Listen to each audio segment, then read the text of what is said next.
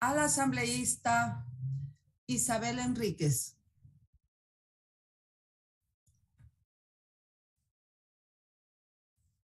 Muchas gracias, señora presidenta. Muy buenos días. Buenos días, colegas asambleístas.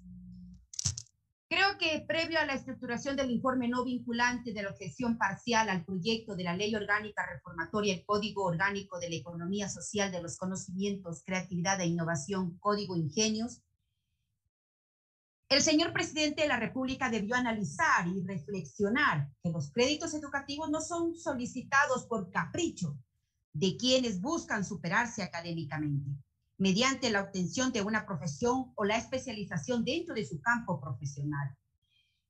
Ahí donde radica el espíritu del presente proyecto de.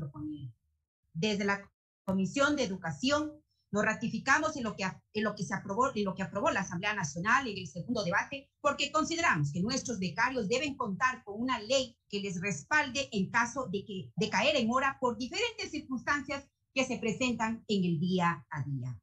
Hoy nuestros becarios se encuentran en serios problemas como consecuencia de una pandemia que nos desestabilizó económicamente a nivel mundial. Sin embargo, peor que la pandemia es la falta de políticas estatales que motiven a la creación de fuentes de trabajo. Que reflexione bien el señor presidente. No solo se cae en mora por la crisis de una pandemia, sino en el caso de los becarios, porque no hay fuentes de trabajo en la profesión que eligieron para poder asumir sus compromisos económicos. Por ello, la razón de ser del artículo agregado 32.1 del proyecto de reforma de ley, el beneficio debería ser para todos. No solamente debería aplicarse para los programas que son administrados por la Secretaría de Educación Superior, Ciencia, Tecnología e Innovación, CENESI. Que quede claro, a los becarios no se les está perdonando la deuda, ni siquiera ellos están pidiendo eso solamente están pidiendo facilidades para poder asumir sus compromisos y nosotros como asambleístas, desde nuestro compromiso con el pueblo, estamos llamados a generar los caminos legales para ello. Este también debería ser el compromiso del gobierno nacional con el pueblo que lo eligió. Nos ratificamos en la aprobación total de este proyecto de ley porque es lo más justo.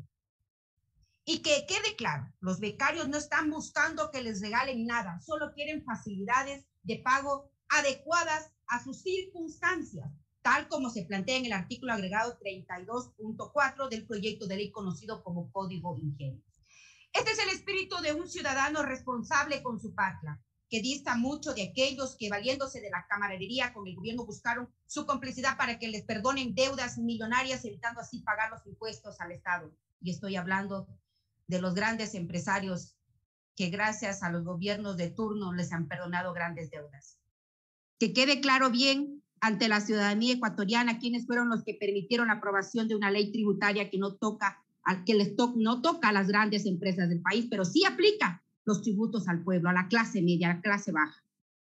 Así de sencillo, señora presidenta y compañeros asambleístas, una vez más hago el llamado para que legislemos a favor del pueblo, desde la responsabilidad de un legislador que debe interpretar la ley desde la justicia, pero siempre apegado a favorecer desde la ética a las grandes mayorías.